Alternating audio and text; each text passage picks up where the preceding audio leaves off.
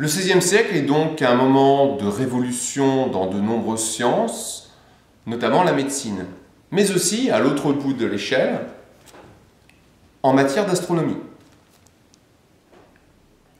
Pour les anciens, l'univers est décomposé en deux parties distinctes. Le monde sublunaire, c'est-à-dire entre la Lune et la Terre, et le monde soumis à l'imprévisible, au changement. Aujourd'hui, il fait beau, l'année prochaine, à la même date, il peut faire très mauvais. Tout est changement, tout est instabilité. Face à ce monde sublunaire s'oppose le monde céleste, qui est lui le domaine de la stabilité absolue.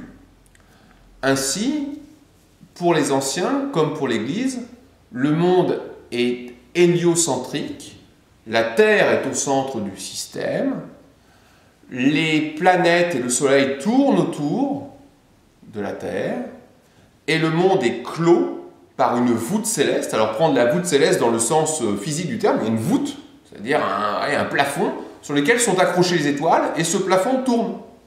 Donc la Terre est immobile au centre du système, il est entouré de ces planètes, de la voûte céleste, et après c'est le domaine de Dieu. En 1543, le Polonais Copernic émet l'hypothèse que le Soleil est immobile et au centre du système. On passe donc à une thèse non plus géocentrique, mais héliocentrique.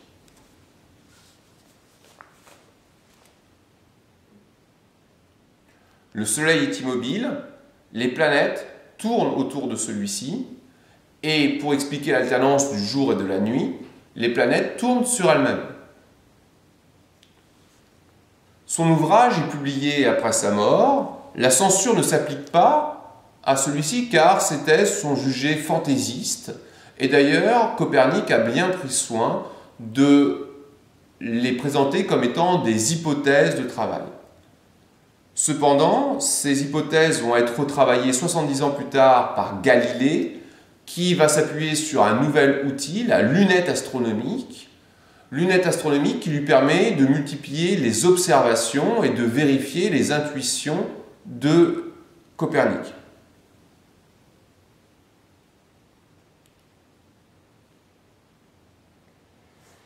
Suite à son travail d'observation et de vérification des travaux de Copernic, Galilée publie un livre dans lequel il démontre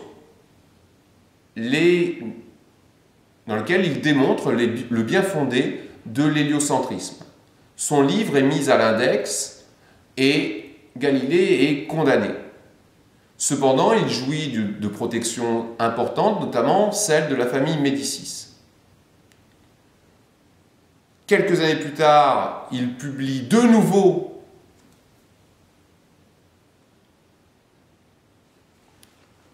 En 1632, il récidive en publiant Dialogue sur les deux systèmes du monde.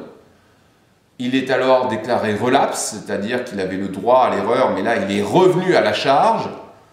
Le tribunal de l'Inquisition le condamne alors pour hérésie. Pour éviter la mort, Galilée accepte euh,